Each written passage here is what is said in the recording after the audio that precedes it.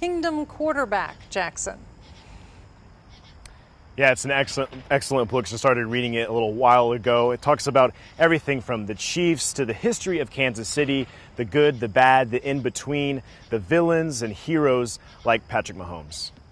For many, he's a king of Kansas City. We're world champs. It's crazy to say this, but I, I think the Chiefs might be entering the best portion of Mahomes' is like the Mahomes era right now. Anywhere you go, it's hard to not feel Patrick Mahomes' impact on KC. Like these big events that would have nothing to do with football, you always see a Mahomes jersey there. The new book, Kingdom Quarterback, talks about the Texas QB and how he's reshaped the city that's been on the come up. One kind of family friend kind of put it, it's like he was like a treasure uh, where where people like they didn't just want to like be around him because you know he, he had a dad who was like a famous major league baseball player or anything like that. He just had this sort of natural uh, charisma and maturity even at that young age. Authors Mark Dent and Rustin Dodd say the book details how much the city has changed, especially for Chiefs fans. I think what Patrick Mahomes has done is sort of kind of confirmed that pride that people have in Kansas City. He's kind of confirmed the you know the the pride people have from being from here,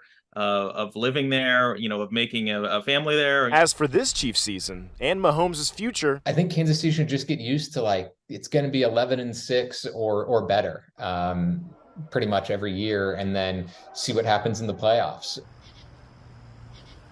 And the book talks about systemic issues in Kansas City, and of course, so many great stories of football. My two favorite chapters I saw so far uh, 13 seconds and the ankle. We know what happened there. Yeah, we sure do. Yes, yes, we do. I don't know if I want to read that chapter. all right, Jackson. It's good. It's, uh, that's the best story. Come on. okay. All right. All right. You know, Thank 11, you. 11 and 6 isn't a very good year.